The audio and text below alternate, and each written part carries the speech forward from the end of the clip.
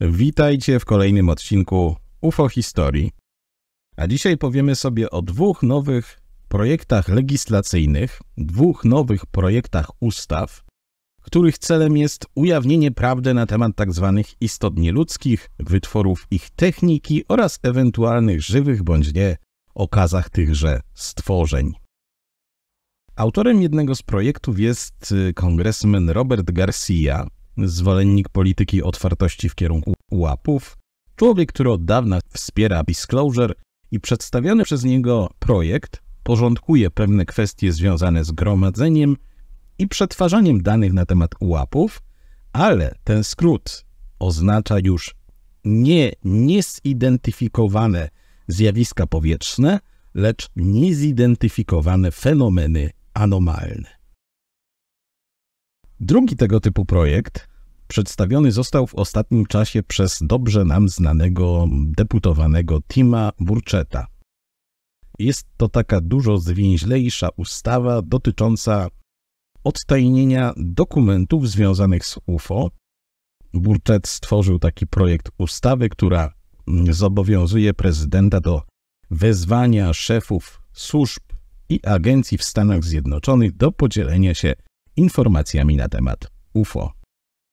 Dlaczego, drodzy Państwo, amerykańskim politykom nagle znowu tak bardzo zależy na dokumentacji i na prawnych drogach związanych z badaniem zjawiska UAP? Czy to znak, że prawdy o UFO i obecności na Ziemi obcej inteligencji nie da się już ukryć? Ale pojawia się też pytanie, czy tego typu zabiegi w ogóle mają sens? O tym w dzisiejszym odcinku. Nim jednak przejdziemy do konkretów, przypomnienie. Przypominam o opcjach wsparcia kanału, o adresie kontaktowym, który znajdziecie pod spodem, a także o audycjach archiwalnych. Jeżeli znacie kogoś, kto się interesuje tym tematem, polećcie tej osobie UFO Historię.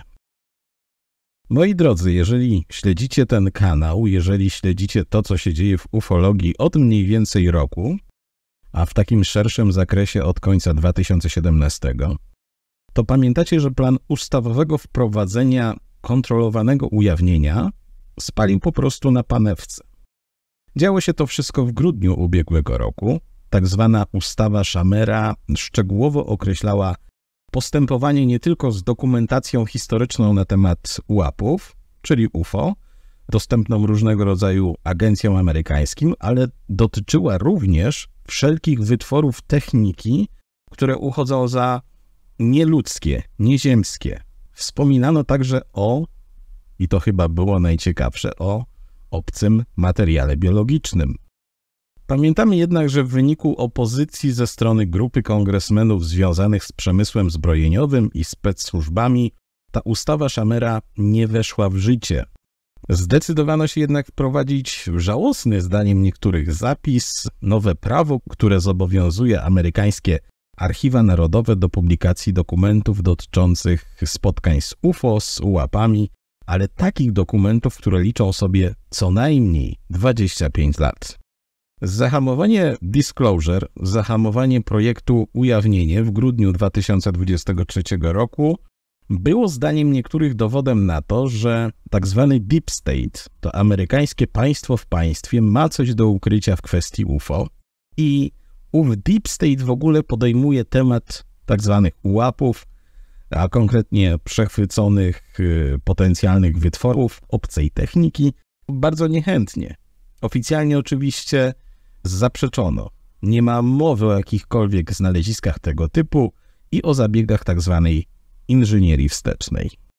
Pomimo braku sukcesów i ewidentnego wyhamowania projektu Disclosure, deputowani z nim związani nie złożyli broni, zapowiedzieli kolejne kroki w tej kwestii, no i jak zapowiedzieli, tak zrobili. Wspomniany Robert Julio Garcia, wywodzący się z demokratów kongresmen z Kalifornii, przedstawił 30 maja 2024 roku projekt legislacyjny, który może znaleźć się w Krajowej Ustawie dotyczącej obronności na rok 2025. To, co zaproponował Garcia, innymi słowy, może stać się częścią większej ustawy na temat obronności, ale pamiętajmy, że może, nie musi. Prace związane z tą ustawą na temat obronności mają się odbyć gdzieś w połowie czerwca tego roku, także tutaj nasz deputowany zajmujący się ułapami próbuje się po prostu jakoś wstrzelić z tym swoim projektem. Garcia liczy również oficjalnie, że to jego prawo, te sugerowane rozwiązania doprowadzą do poprawy bezpieczeństwa w powietrzu i wprowadzenia procedur pozwalających na przykład pilotom na zgłaszanie spotkań z niezidentyfikowanymi obiektami latającymi. O czym mówi 45-stronicowy projekt ustawy, który e, trafił do sieci? No, w rzeczywistości mamy do czynienia ze skróconą, zrewidowaną formą wcześniejszej ustawy o UAP, czyli tej wspominanej ustawy Szamera. Ustawa Garcia po prostu powtarza propozycję stworzenia specjalnej rady bądź panelu rewizyjnego do spraw UFO, przepraszam, UAP, który to panel byłby powoływany przez prezydenta i składał się z ludzi y, zaproponowanych do tego grona przez na przykład parlament, ale też inne ośrodki, także grupy cywilne, na przykład amerykańskie Towarzystwo Historyczne. Ludzie ci mieliby nie mieć absolutnie żadnego związku e, z sekretnymi programami i otrzymaliby dostęp do ściśle tajnych danych. E, kadencja takiego panelu w świetle tego, co zaproponował Garcia, opierając się oczywiście o wnioski Shamera, miałaby trwać do 2030 roku. W tym czasie ów panel oceniłby przekazane mu z różnych źródeł materiały dotyczące UAP-ów, dotyczące UFO, przeanalizowałby je, czy mówiąc kolokwialnie, one się nadają do upublicznienia, czy nie, a następnie ta grupa, ten panel przeszedłby do stworzenia zarysu planu tak zwanego kontrolowanego ujawnienia. Wnioski dotyczące tego, co ujawnić, a co nie w kwestii ułapów, ta rada rewizyjna, ten panel przedstawiłby potem parlamentowi i prezydentowi. Ów projekt Garcia bliźniaczy do projektu ustawy Shamera, co przypominam, chociaż e, wyraźnie mówi o ujawnieniu danych na temat ułapów i ewentualnej obecności na Ziemi tzw. Nieludzkiej inteligencji, to on de facto pozostawia otwartą furtkę dotyczącą utajnienia tych informacji. I to zarówno przez ten panel, tą radę oceniającą, czy radę rewizyjną, jak i przez prezydenta. Mówiąc krótko, ta ustawa i tak może zablokować pewne informacje o ułapach przed opinią publiczną, pewne informacje newralgiczne z punktu widzenia obronności kraju. Natomiast, kiedy się temu przyjrzymy tak porządnie, to realnym celem tego projektu ustawy Shamera Garcia, tak to nazwijmy, wydaje się po prostu wyciągnięcie pewnych danych skrywanych od dawna i bardzo głęboko od wspomnianego Deep State'u i roztoczenie nad problemem ułap i tego wszystkiego, co się z nich wiąże, kontroli parlamentarnej. Mówiąc krótko, jeszcze raz i w prostych słowach, kongresmen Garcia proponuje stworzenie panelu, takiego oceniającego, który przeanalizowałby dane, dokumenty, raporty zebrane przez różne agencje rządowe i nie tylko, bo tutaj się mówi również o danych akademickich, no i oceniłby, jak na tej podstawie rozpocząć projekt kontrolowanego ujawnienia, tyle że pozostawia on otwartą furtkę pozwalającą na utajnienie tego, o czym ludzie się nie powinni dowiedzieć. Czyli mamy kompletny paradoks. Jak widzicie, z jednej strony żąda się pełnej otwartości, ale z drugiej strony zostawia takie drzwiczki na wypadek, gdyby się pojawiły informacje, o których ludzie powinni nie wiedzieć z jakichś przyczyn. Warto też zauważyć, że projekt Shamera i projekt Garcia wprowadza konieczność ujawnienia informacji o UFO UAP pod innym kątem, między innymi tutaj wskazując na możliwości związane z odpowiedzialnością karną. Są też inne zapisy, które można uznać za kontrowersyjne, i taki jeden z najciekawszych, który odnalazłem, a na który dotąd może nie zwróciłem aż tyle uwagi, mówi o tym, że w świetle tej nowej ustawy o UAP sekretarz stanu USA powinien szukać informacji o obiektach nieludzkiego pochodzenia będących w rękach innych krajów szczególnie jeżeli te kraje mogłyby wiedzieć coś więcej na temat inteligencji nieziemskiej. No jest to dość interesujące. Cały czas bowiem trwają dociekania, które to kraje mogłyby również dysponować rozbitymi czy przejętymi wrakami obiektów nieziemskiego pochodzenia. Często oczywiście wskazuje się na Chiny i inne mocarstwa, choć nie brak też takich głosów e, gdzieś tam z głębi środowiska Disclosure, że odpowiedź na pytanie, które kraje są w posiadaniu rozbitych UFO, nie jest taka prosta i są to kraje, które nie od razu przychodzą na myśl.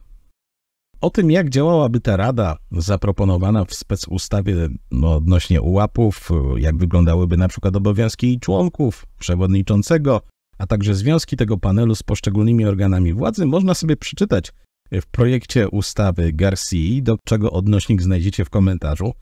Są tam również informacje dotyczące tego, ile pieniędzy należałoby wyasygnować na ten projekt, jeżeli oczywiście on wszedłby do realizacji w przyszłym roku, w 2025. Zatem, jeżeli się chcecie zagłębić w realia, macie tam materiał e, w komentarzu. Co natomiast najbardziej może poruszać osobę, która do tej pory nie śledziła informacji związanych z projektem Disclosure?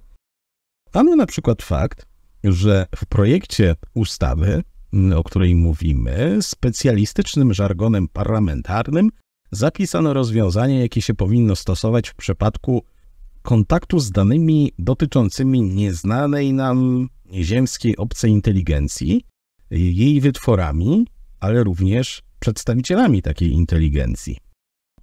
Dosłownie wytwory tej inteligencji, tych istot nazywa się technologiami nieznanego pochodzenia, zaś samych przedstawicieli obcej inteligencji, czyli starych dobrych obcych, określa się biologicznymi dowodami na istnienie inteligencji nieludzkiej. Dowiadujemy się również z tej ustawy, tutaj warto jeszcze tak może dodać, że ona by dotyczyła nie tylko agencji, czyli wiecie, CIA, FBI i tak dalej, ale też wszystkich organów stanowych, uwaga, komercyjnych, również akademickich, prywatnych, które mogłyby gromadzić, wykorzystywać albo kopiować nieznanego pochodzenia technologie, albo też, cytuję, badać materiał biologiczny w postaci żywych lub martwych przedstawicieli nieludzkiej inteligencji w okresie przed wejściem tej ustawy w życie. Dodatkowo projekt wyszczególnia, które obiekty czy zjawiska stanowiłyby obszar oficjalnego zainteresowania, no a także odnosi się do tych zjawisk określanych jako zjawiska tymczasowo nierozpoznane, no, czyli takich, które mogą być pomylone z ułapami, ale mają jakieś tam naturalne bądź naukowe wyjaśnienie. Także pod tym względem przynajmniej jest to ciekawe, no bo chociaż projekt Disclosure, jego cele i nawet sensowność cały czas prowokują dyskusje i nawet coraz częściej pojawiają się różnego rodzaju krytyczne głosy, to trzeba powiedzieć, że jeszcze całkiem niedawno trudno byłoby uwierzyć w to, aby próbowano zupełnie na serio na szczeblu parlamentarnym wprowadzić rozporządzenia dotyczące czegoś takiego jak obiekty nieziemskiego pochodzenia. Ale abstrahując od tego, skąd te ułapy pochodzą, czym jest NHI, czyli inteligencja nieludzka i tak dalej, no to zaczęła mnie zastanawiać jedna rzecz. Otóż zauważcie, że, że amerykańskich kongresmenów i ogólnie nie tylko, bo także innych ludzi związanych z ruchem ujawnienie, bardziej interesuje kwestia wydarcia pewnej wiedzy deep state'owi, wydarcia pewnej wiedzy tych, którzy ukrywają po prostu coś o UFO, aniżeli na przykład y, ewentualne reperkusje i wpływy ujawnienia na różne sfery życia. Mówię tu o kwestiach związanych z tym, w jaki sposób kontakt z inną inteligencją przełożyłby się po prostu na różne sfery funkcjonowania społeczeństw. Także to jest taki paradoks i tak naprawdę im bardziej się nad tym zastanowimy, to możemy odnieść wrażenie, że Amerykanom wcale nie chodzi o prawdę o UFO, o jej ujawnienie, o przekazanie tej wiedzy całemu światu wręcz, bo o tym oni mówią, ale tak naprawdę mają oni na celu przejęcie w jedne ręce i kontrolowanie wszystkich informacji na temat szeroko rozumianego tematu UFO, UAP oraz tak zwanych inteligencji nieludzkich. Tyle, drodzy Państwo, o przedsięwzięciu, o projekcie kongresmena Garcia. O nim można jeszcze dodać tyle, że na początku tego roku we współpracy z innym politykiem, Glenem Grotmanem, ogłosił on wprowadzenie ustawy o bezpieczeństwie w przestrzeni powietrznej, które ułatwiłoby pilotom zgłaszanie incydentów związanych z UAP. Także widzimy, że Garcia rzeczywiście jest dość aktywny na polu UAP-ów. No ale nie tylko on dorzucił kamyczek do kwestii disclosure.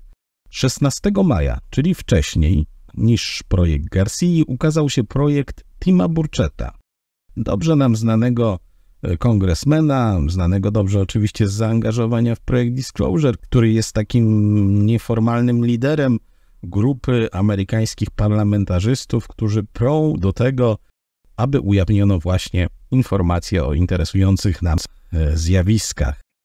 I w przypadku Burchetta nazwa tego projektu to UAP Transparency Act. W przeciwieństwie do wcześniej omawianego projektu, ta koncepcja Burchetta jest wyjątkowo zwięzła. To znaczy, to jest bardzo krótki dokument, bo liczę sobie tylko dwie strony. Przypominam, że to, co przedstawił Garcia, miało 45 stron. I zobowiązuje on, w przypadku oczywiście, jeżeli to prawo zostałoby przyjęte, prezydenta Stanów Zjednoczonych do skierowania w ciągu 270 dni prośby do szefów różnych agencji, która zobowiązywałaby ich tak naprawdę do opublikowania dokumentów, relacji, wszystkich materiałów związanych z ułapami. A następnie, według tego projektu Burchetta, prezydent miałby przedstawić raport z postępowań na tym polu odpowiednim organom parlamentarnym. Drodzy Państwo, rodzi się takie pytanie, skoro w grudniu 2023 roku nie udało się wprowadzić żadnych zapisów prawnych dotyczących zjawiska UFO, to czy teraz się uda? Czy to ma w ogóle jakiś sens? Poza tym, że to jest taka demonstracja, może przypomnienie tego, że Disclosure nie powiedziało jeszcze ostatniego słowa, to szczerze mówiąc, większego sensu to chyba nie ma. Wiara w to, że Biden pod wpływem projektu Burchetta nagle dokona jakiejś wolty w kwestii UFO, czy w kwestii obecności na Ziemi obcych, no jest raczej naiwnością. Pamiętajmy przecież, że chociaż formalnie prezydent Stanów Zjednoczonych miał się interesować projektem ujawnienia, nawet go tam jakoś wspierał, to tak naprawdę nie zabrał w ubiegłym roku głosu, aby nawet symbolicznie wesprzeć tych, którzy walczą o tą prawdę o UFO. Zatem, czy Garcia i Burczetowi się uda przepchnąć to prawo, osobiście wątpię. Natomiast o czym mogą świadczyć te parlamentarne, skromne zabiegi? Czy jest w tym wszystkim jakieś drugie dno? No może, bo zobaczcie coś takiego. Kiedy po raz kolejny projekt czy projekty dotyczące ujawnienia zostaną zbagatelizowane przez parlament i odrzucone, no to jaki przekaz pójdzie w świat? Ano taki, że nie wprowadzono ujawnienia, bo rząd coś ukrywa. I że to są informacje naprawdę cenne, takie, które nie mogą się wydostać ani do opinii publicznej, ani tym bardziej do przeciwników Stanów Zjednoczonych na arenie geopolitycznej. A to by też oznaczało, że rząd jednak posiada jakieś zaawansowane technologie przejęte w oparciu o inżynierię wsteczną, być może pochodzące z obiektów nieznanego pochodzenia. No i taki sygnał, że o, Amerykanie coś tam chcą ujawnić, ale nie mogą, bo to jest zbyt tajne, poszedłby do Chin, do innych krajów będących w opozycji do Stanów Zjednoczonych. No i jest jeszcze druga sprawa. Drodzy Państwo, od jakiegoś czasu się mówi głośno o tym, że w fazę praktyczną wszedł projekt umieszczania przez Rosję broni nuklearnej na orbicie. Dodatkowo dowiedzieliśmy się ostatnio, że bliżej nieokreślony chiński pojazd kosmiczny wypuścił bliżej nieokreślony obiekt na orbitę. I kiedy takie informacje dochodzą do Stanów Zjednoczonych, no to pewnie one są mocno zaniepokojone.